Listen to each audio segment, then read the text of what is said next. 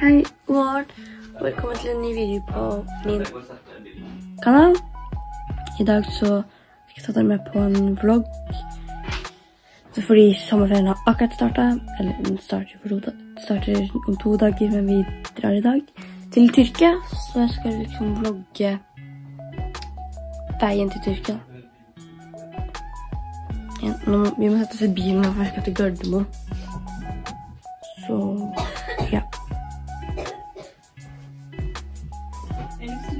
Ses.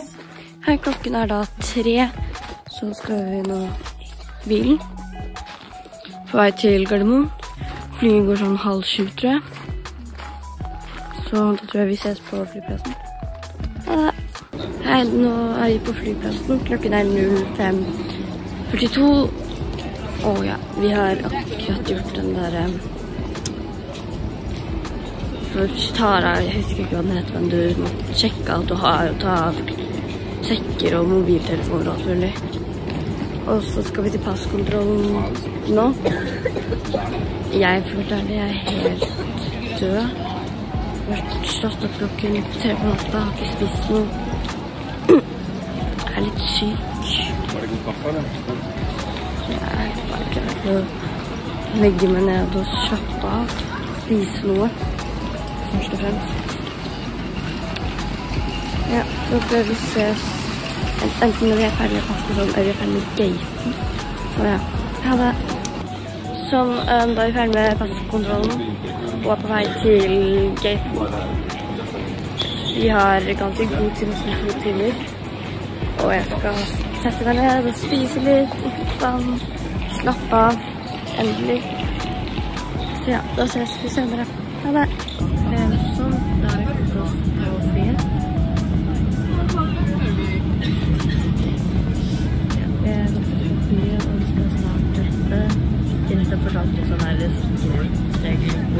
Hvor oksygenmasken og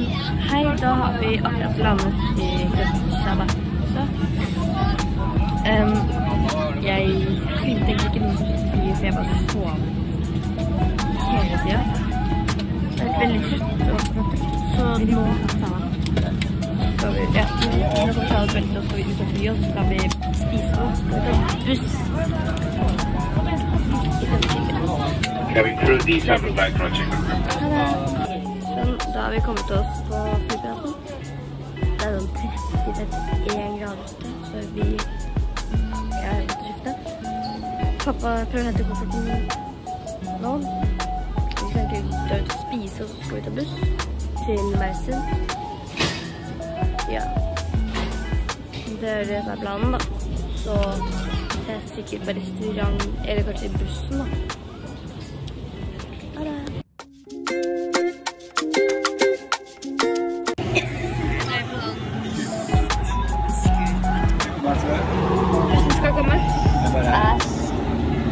Og varmt der. Vi, ja, vi dør.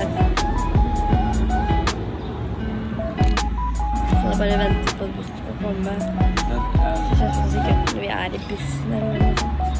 Bussen, det er ikke forklart at bussen stopper sånn en gang hver. En gang hver andre time. Sånn. Da kan du få gå på do og spise mat og gjøre alt sånt. Så vi kan ikke sitte hele tiden totalt da vi skal gå ut og kjøpe souvenirer. Får en time da på å handle spise mat og gå på do og gjøre alt sånt. Så vi har ikke derfor den trang spist, fordi vi har ikke tid. Da spiste en brødskive, to brødskiver rett i dag. Litt vann.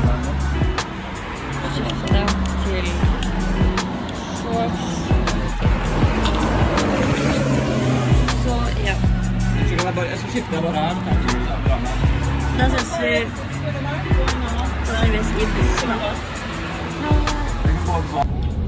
Da vi kommet oss til bussen. Og her er det kommet så fint. Vi skal snart stoppe her. Da setter vi sikkert der. Sånn, da er vi på det første stoppet. Ah, det er sånn 30, det er 31 grader for kokevarmt. Så vi skal gå bort på do ikke sant, og spise litt mat. Det stoppet um, Vi gikk i bussen for sånn der 15 minutter siden, tror jeg. Vi har ikke vært noe lenge i bussen. Og så er det allerede stopp. Bussen var jo forsinka nesten 30 minutter. Ja. Så ja. Vi skal spise litt mat og finne litt sånn, ja. Da ses vi snart.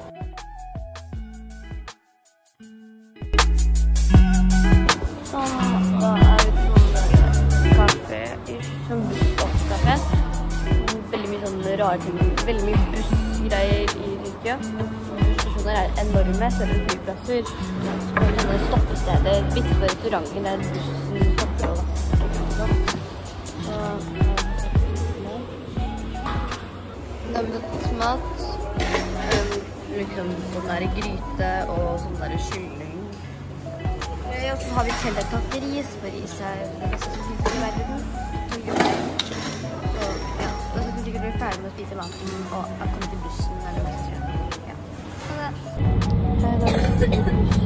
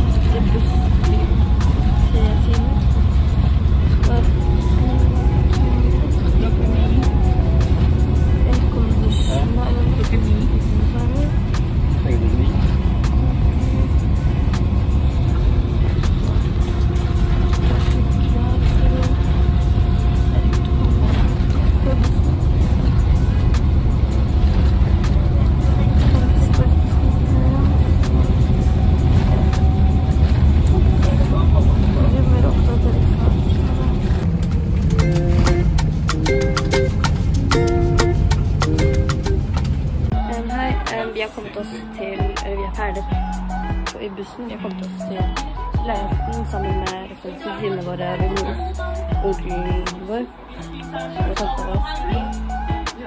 Eh, ja. Så koselig.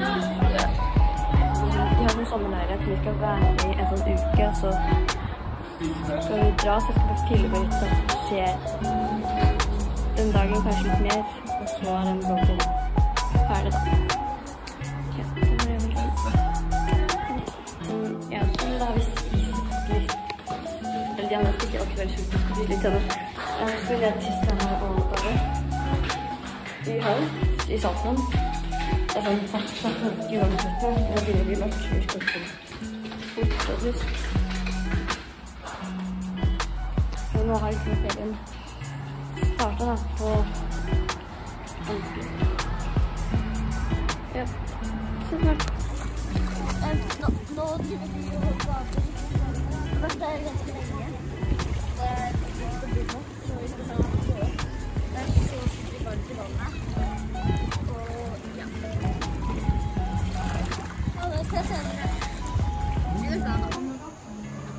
Den er rød blodmåne.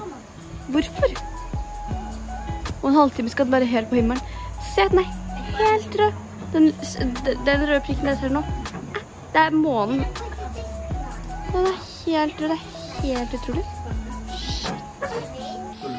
Sånn, nå er det Ok, nå skal vi legge oss. Hei, nå har vi vært i Madison i en uke. Og vi har dratt videre til Adana. Ja, hvis du finner ut mer om hvorfor og hvor vi er, så må du bare følge med for en ny video kommer snart, der vi er i Adana. Um, vi er, så ja, vi har vært ferdig i Mersin. Det har vært skikkelig fint vær i Mersin. Varmt, og vi har bada. Så nå har det gått en ganske lang stund siden sommerferien starta. Og grunnen til at jeg ikke har fått ja, lagt ut, akkurat til å redigere, og så har jeg fått litt tid, så måtte jeg dra, og mye som skjer. Men ja, uansett, takk for at du så på denne videoen. Hvis du liker den, så gjerne gi en tommel opp. Det gjør meg. Gjerne abonner, subscribe, skriv i kommentarfeltet hva du syns om videoen. Og ja, bare skriv i kommentarfeltet. Det er også veldig hyggelig å få kommentarer. Så ja, da ses vi i neste video. Ha en superfin dag. Ha det.